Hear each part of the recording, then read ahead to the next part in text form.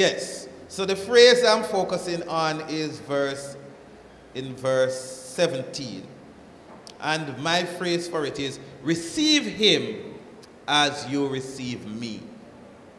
Receive him as you would receive me. And the letter, Paul's letter to Philemon is very important today when we think of love in deed, love in action. When we think of even today's society where there is turmoil, various type of social turmoil, um, this phrase is important. Receive him as you receive me. Philemon was a slave master. Today they tells us that there's still slavery going on, human trafficking. And yesterday we celebrated emancipation, freedom from slavery. But in the Bible, the concept of slavery is there. And unfortunately, it seems it wasn't a practice that was condemned. It was a practice, however, that God spoke to these masters how to treat their slaves. The practice of slavery in the Bible, too, is different from when our foreparents were enslaved. Cruelty was there, yes, but it wasn't as it relates to color of the skin or as it relates to your, your, your ethnic group. In those olden days, you will always have nations enslaving other nations as part of their conquest to control the world. You will have individuals sometimes giving up their liberty because they could not pay their debt. They owe money.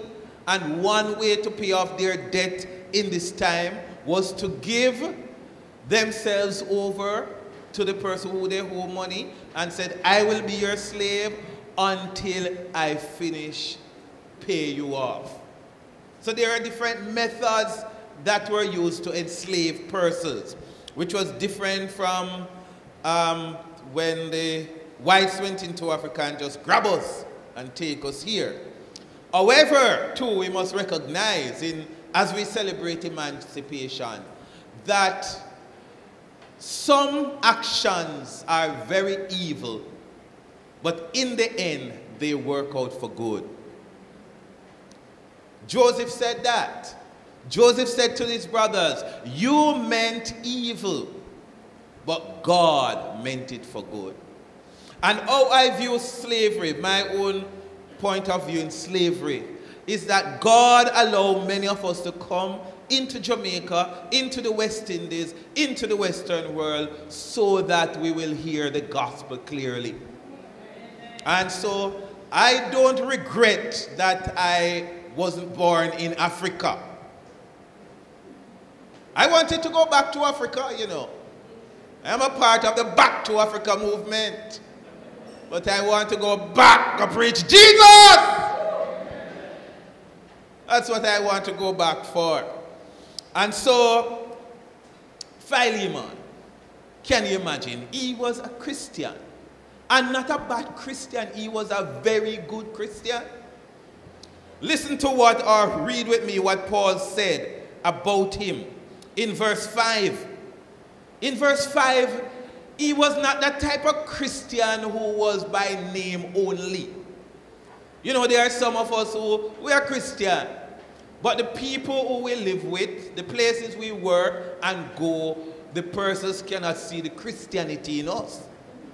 All they know, we go to church. So you have really many people who are mainly churchians rather than Christians. Philemon wasn't just a churchian man, he was a Christian. In verse 5, Paul says, We heard of your love and faith which you have towards the Lord Jesus and toward all the saints. Paul was away from Philemon and Paul heard news It wasn't WhatsApp and Instagram and Facebook, however. Travelers moving from one place to the next. When they reached Paul, Philemon lived in Colossae, and they said to Paul, that man in Colossae, that Christian man Philemon, he loves Jesus. He has great faith in Jesus. He is a good example. And not only Jesus he loves, but he also loves the saints. Let me read it again. We hear of your love and your faith which you have towards the Lord Jesus and toward all saints. So this man that Paul was writing to was a godly man. He had a good example. He was a man whom others could testify that man loved Jesus. How many of us, men and women, boys and girls, as Christians, many people can testify and say, You see him, you see she, that person loved Jesus. How many person testify about you like that? COVID don't prevent us from showing hands, right? Nobody want to raise your hand? How many you know of many persons just boasting about your love for Jesus? When they talk about you, they talk about you as a woman who loved the Lord, as a man who loved the Lord. That's how they spoke about Philemon. He was a man of faith, and it wasn't just to the Lord. Paul says, and toward all saints. Therefore, brothers and sisters, when Paul had to write to Philemon then about the slave, a former slave of Philemon named Onesimus, Paul had to say to Philemon, because although he was a lover of God and a lover of the saints, there may be, Paul did not want to know that there would be a problem. Paul did not know how Philemon may respond when Onesimus' slave returned. But Onesimus had received Jesus as his personal savior. He ran away from his servant, went to Rome, met Paul in prison because Paul was jailed because of Jesus. And Paul witnessed to Onesimus. He received Jesus as his personal savior. And now Paul was sending him back to his master. Probably in today's world would say Paul should not do that. If the man received Jesus and the man is free, let the man go. But Paul had a concept that things must be done in order according to the Bible. Not in disorder and disarray. So Paul says, you know what, Onesimus, I'm sending you back to Philemon. And Paul sent him with a letter. And the phrase in verse 17, Paul gives a condition. Paul said to, to, to, to Philemon, if you count me, if you see me as your partner, as your friend. So here Paul was looking at the relationship that he had with Philemon. And he said to Philemon, You consider me a friend? You consider me a brother in Christ? You consider me your partner? You consider me your minister? If you consider me as somebody worthwhile, I want you to do something for me. So Paul mentioned the relationship that he had with, with Philemon. Philemon probably, if he went to Philemon, Philemon would give him the best room. Would have a banquet for him. Would treat him the best way possible. Don't we all have people, if they're coming to our house, we take out the, the, the things that we haven't used for a long time? And we put them out nicely because we want to entertain them well? Or you guys don't do that still? Yes, man, we do that. We try to take care of our visitors very much. And can you imagine the prime minister or somebody you love, a politician you love, call you and say, I'm coming to your house? What would you do?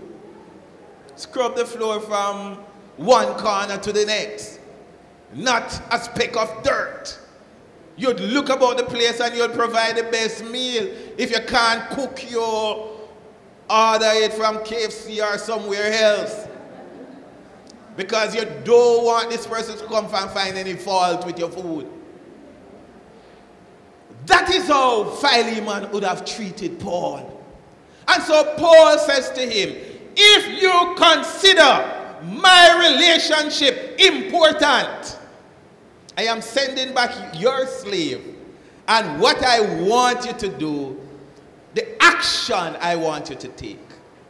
Receive that slave. How? The same way you would have received me.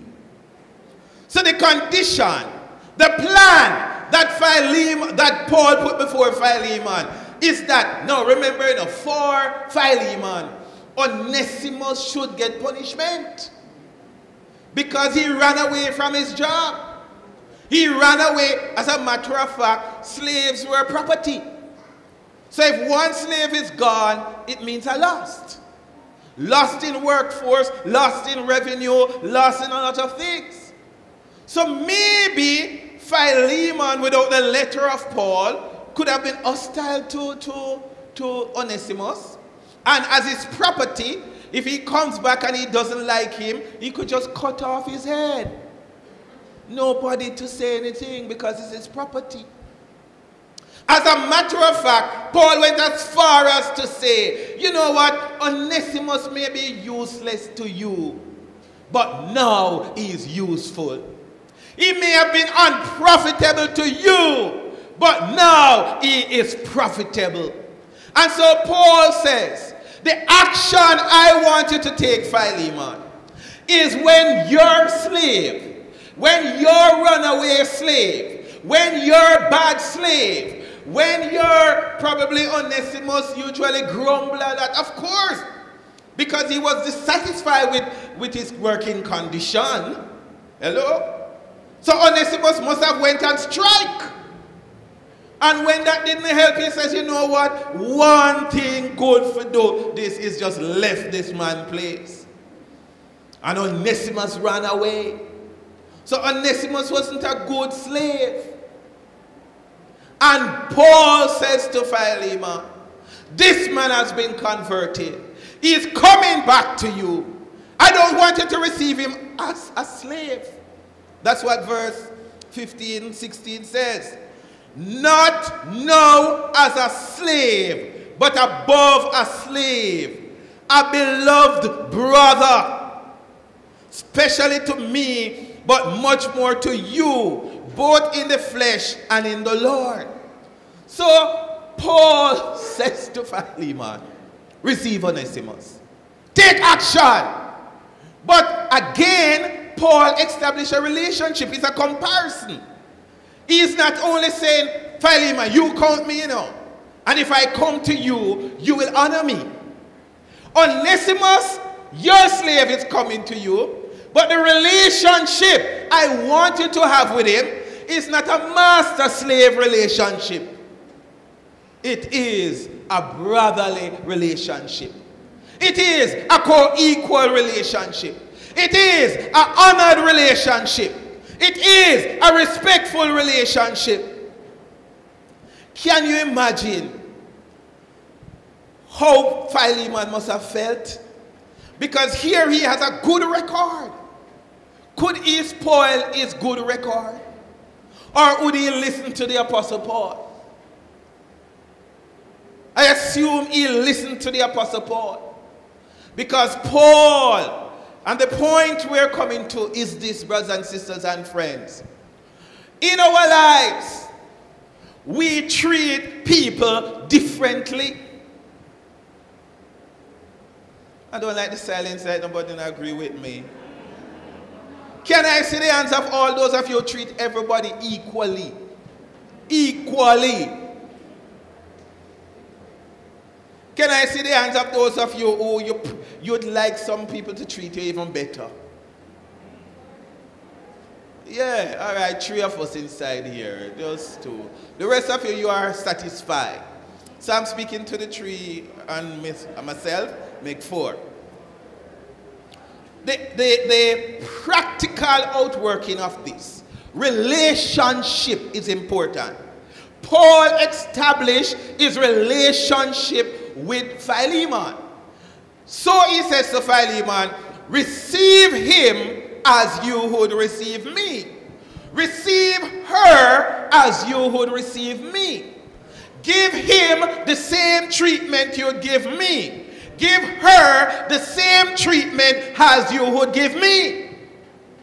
So, my question to us do we give others the same treatment as we give those we respect and love?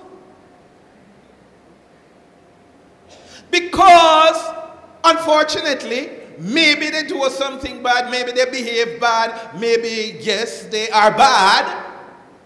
But the point of the, the, the application here is that we should not just treat people based on their behavior, based on their action. But we need to treat people sometimes based on a condition how you would have treated somebody else. And Paul is saying to us, brothers and sisters and friends, let us examine our lives. We treat some people good and we receive good treatment from them. And we like to say, if you treat me good, I treat you good. But if you treat me bad, I treat you bad.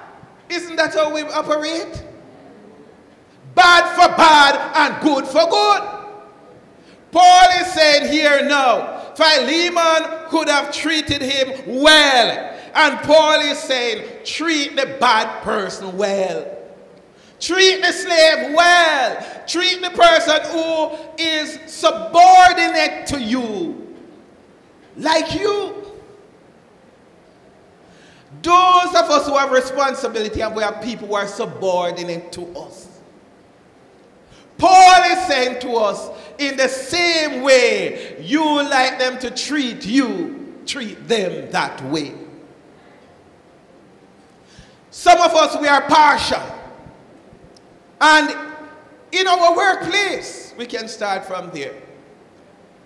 The boss or the management team passing through, we have honor and respect for them. The common worker we're passing through, we say, Cho, go on, man. And we degrade people in our behavior. But Paul is saying, treat people as you treat the boss. And the boss, the boss must treat the workers as he's treating an equal boss. Hello? In our workplace in Jamaica, if bosses and if Christian bosses set the example and treat their workers like they treat other management people, what kind of workplace would we have? What kind of workforce would we have?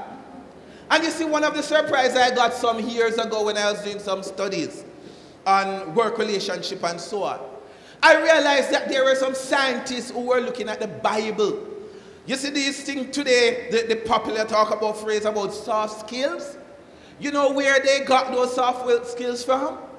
In the Bible. And these people were not theologians, they were not Christians, but they went to the Bible as a social book, a social, you know, in their sociological analysis. And they see the soft skills in the Bible and they write academic articles, researcher, researches about these things, and they bring them in this place. And internationally, people talk about soft skill. And unfortunately, it's lost on us as Christians. Because when people go in the workplace, they don't see Christians treating everybody the same way. Christians are discriminating. Christians are prejudiced. Christian bad mind and, and thief too.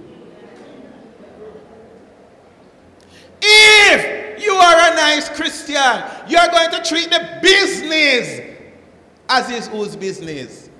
Your business. So those of you who go at work and punish other people, Can you know many people in offices and so on, they punish customers? Oh, you didn't know that? Yes, man, some of them as you come in, they can't serve you, you know. But sometimes they don't have anything else to do, but they find other work to do. Because they say, you come, you must wait. Who are you? But as Mr. B coming, how, what, how can we help you? Hello? If that is how you behave as a Christian, you are not following the principle that Paul is saying here. Paul is saying here, treat with respect everyone. That's what he's actually saying. Treat everyone with respect. Let's think about also the home. Paul expects that in our application that the husband will treat his wife as he respect who? Who the husband respect? God? Yeah, God? Or who the husband respect? All right, let me ask a question, you know. My wife, you, you to keep, keep on the mask. You understand? You keep on the mask. And don't talk through the mask, right? Good, that's a command. and I was in the midst of them, so I hear the conversation. And what he was saying, the man left his wife. And why the man left his wife? He says the man went home one evening and fish was fried, nice, set up nicely. You know the best set up of fish with okra and everything? And there was one plate with a, with a big sized fish and another plate with medium sized fish. So when he went to a man, he feel good, he go take him fresh man and come to go around the dinner table. And he went to the table where he said the bigger dish.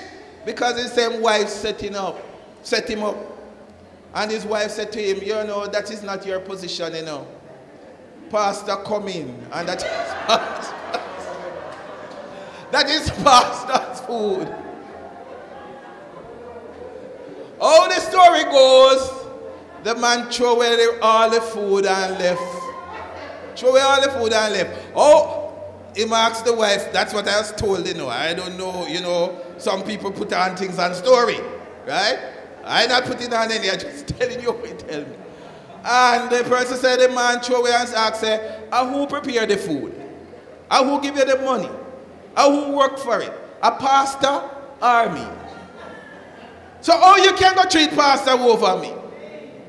The point I'm using that to say is that there are many times we treat others with more respect, with more honor than we treat our own.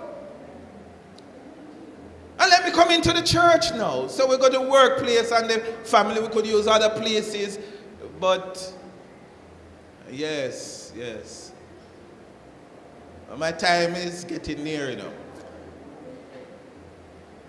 But I just talk, you know. It's not five minutes since I'm up here. All right, let's continue. The church, in the church, what we find in the church too, when we say love in deed and in truth, we have to receive others as we would receive some. Because in the church, one of the things why church fellowship is not as great as it could be, is not as great as Jesus said in Matthew 11. If we have love one for another, all men will know that we are his disciples.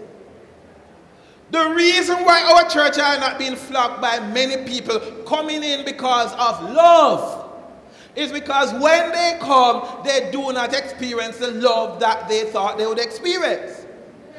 You know why? Because our love in the church many time is partial. We treat some people with respect and with great love, and then there are others that are ignored.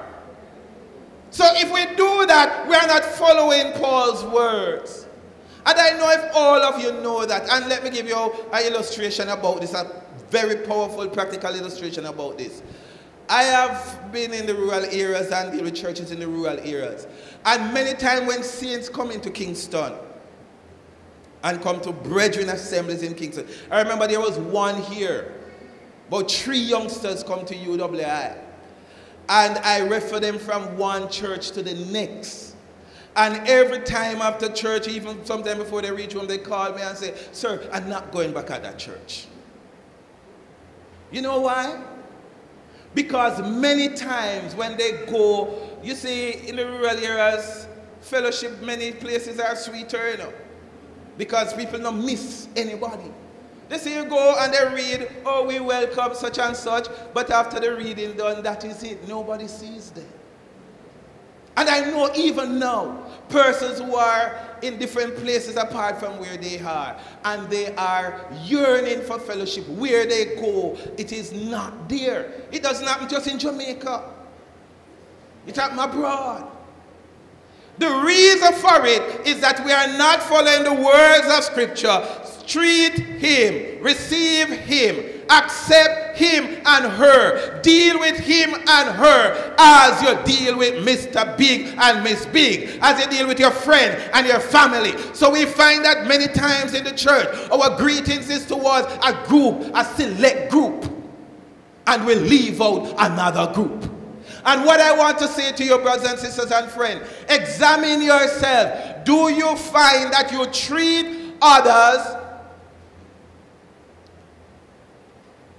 So, for example, I can use my friend as an illustration.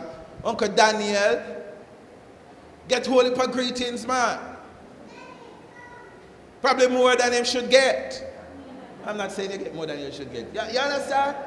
But you find that there's another brother and sister who don't get none. Who don't get any. And when you treat others with respect as you receive them, you know, um, Philemon. He was to cater for Onesimus, which we can get into. He was not only to just receive him back, he was to give him bedding and clothing and all that is necessary so he could feel the same way Paul would have felt. In our time, there are many times that there are even people in the church bleeding, dying for help but we don't know and we don't care. However, when you hear help for somebody else, everybody rush to it. You hear what I'm saying? Especially whoever it come from. If it come from the platform, everybody rush to it. But if somebody just whisper in your ears, this is a person need help, we ignore it. That's wrong. That's not treating others I would like to treat some. And this is what I know in crisis. The person who have more fame get more and that he and she doesn't need. And the person who don't have, who have the greatest need, don't get it. And so I'm saying to us as I close, let us examine ourselves. Receive him, receive her as you receive me. Do you find that there are some persons in your congregation that you have ignored. I'm probably in this year too, you know. Onesimus did this Philemon. But Paul says, retreat him, receive him, forgive him, accept him as he is.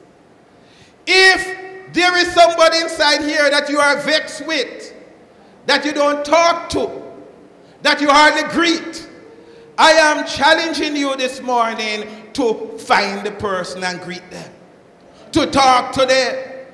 A COVID time so we can hug, but give them a elbow and said, I may have overlooked you. I'm saying to you something that I learned from, from, from I learned John 11, 35.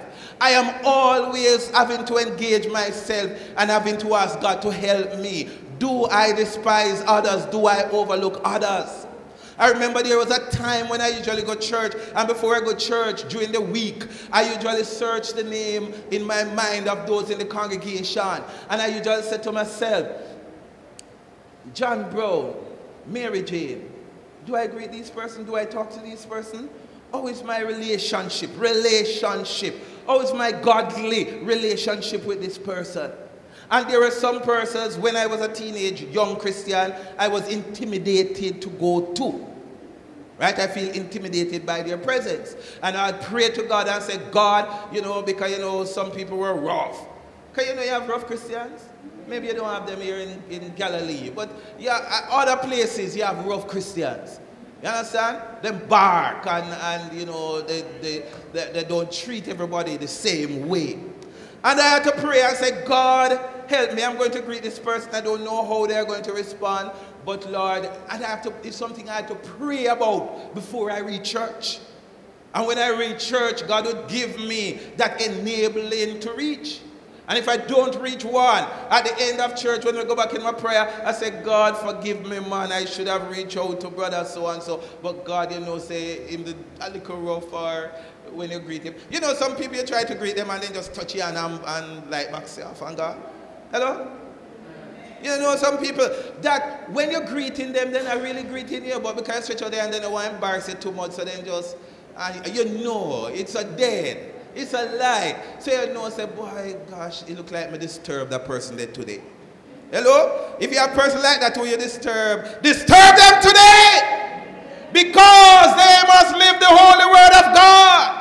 We must treat others same way we treat the honorable people. We must treat every saint alike. Granted, there are some people who run into you. And because they run into you, they get more from you. And there are some people who don't run into you. But you and I have to reach those people who don't run into you. Sometimes those are the persons who are bleeding the most. Sometimes those are the persons who need a, a word of encouragement the most. Sometimes those are the persons who are in trouble the most. And so, brothers and sisters and friends, we have a song we want to sing. Um, can we sing it? We have time to sing that song? Yes, well, let's sing that song. You know it. Um, we are one in the Spirit, we are one in the Lord. We are one in the Spirit. That oneness is what Paul spoke about here to Philemon, a boss. He said, Don't receive Onesimus as a servant, as a slave. Receive Onesimus like he's a fellow boss. And I'm saying to every one of us, don't look down on anybody at all. Whether a brother and sister, stranger, a friend or nobody, don't look down on anyone. Whether a child, a teenager, or older folks or so on. And don't let it be too in the church where you have division between the old and the young. Because sometimes you have that division. And the reason for that division Older folks, you have to take responsibility. When they say the young people ain't not talk to me, you have to take the responsibility because you know why the young people ain't not talk to you? Because sometimes when they come around your, your, your, your face makeup and when they see your face it look like hurricane and thunder so they run from your face. So you have to melt it and go down to them and say, oh my little brother, oh my little sister in the Lord. Because they are intimidated by you. I was a teenager in the church, so I know I have to pray to the Lord to, to, to, to, to, to approach some people, in, big people in the church. So it is on you, to hold the ones, to receive the little ones as you receive the other older ones, as you receive the elders, as you receive the, the, the, group leaders, as you receive the persons who lead the various group, as you receive any leader at all, receive everybody the same way.